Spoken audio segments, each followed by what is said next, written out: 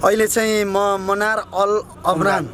कम्पनीमा कार्यरत सम्पूर्ण नेपाली दाजुभाइहरूसँग छु।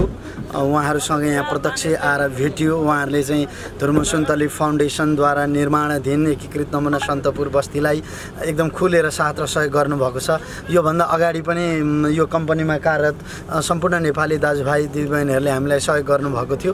यो कम्पनी मात्रै नभएर साउदी अरबमा रहेका ठुला ठुला कम्पनी जहाँ जहाँ नेपालीहरू कार्यरत हुनुहुन्छ। हामी प्रत्येक कम्पनीमा पुग्ने कोसिस गरिरहेका छौँ। अझै हामी शुक्रबारसम्म चाहिँ साउदी अरबमै रहनेछौँ र एउटा मानवीय धर्म अन्तर्गतको पुण्यको काम र पवित्र काम अन्तर्गतको चाहिँ सन्तपुर बस्ती जो बाढी पीडितका लागि बनिरहेको छ त्यसको सहयोगका लागि हामी सबै यहाँ कार्यरत नेपाली दाजुभाइ दिदीबहिनीलाई चाहिँ अपिल पनि गर्दैछौँ। अपिल सँगसँगै एउटा भावना पनि जोड्दैछौँ।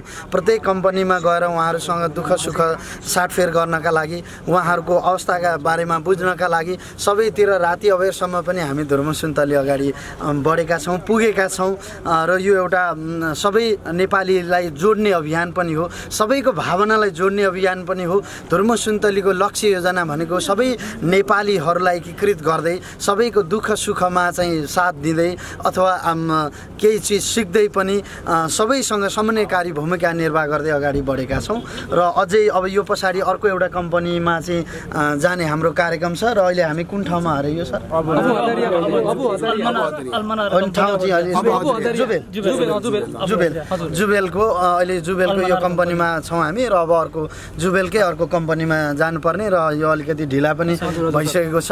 यसरी चाहिँ हामी समग्र साउदी अरबको एउटा बसाइ अथवा साउदी अरबमा जुन उद्देश्यका साथ आएका थियौँ त्यो एकदम सुखद पनि बन् बन्दै गएको छ र अझै हामी शुक्रबारसम्म चाहिँ साउदी अरबमै रहनेछौँ। धन्यवाद। धन्यवाद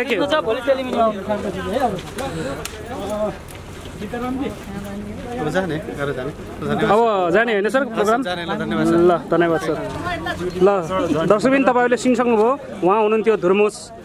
धुर्मुस सीताराम कटेल धुर्मुसजी उहाँले चाहिँ आफ्नो अपिल सुनाइसक्नु भएको छ र यो कम्पनीमा अब यो कार्यक्रम पनि सकिसकेको छ। यहाँबाट धेरै सहयोग पनि गरिसक्नु भएको छ सम्पूर्ण साथीहरूले र उहाँले सुनाउनु भएको अपिललाई हजुरहरूले सुनेर उहाँलाई केही सहयोग गर्न हुनेछ भन्ने आशाका साथ अहिलेलाई बिदाय हुन्छौँ। By by! By by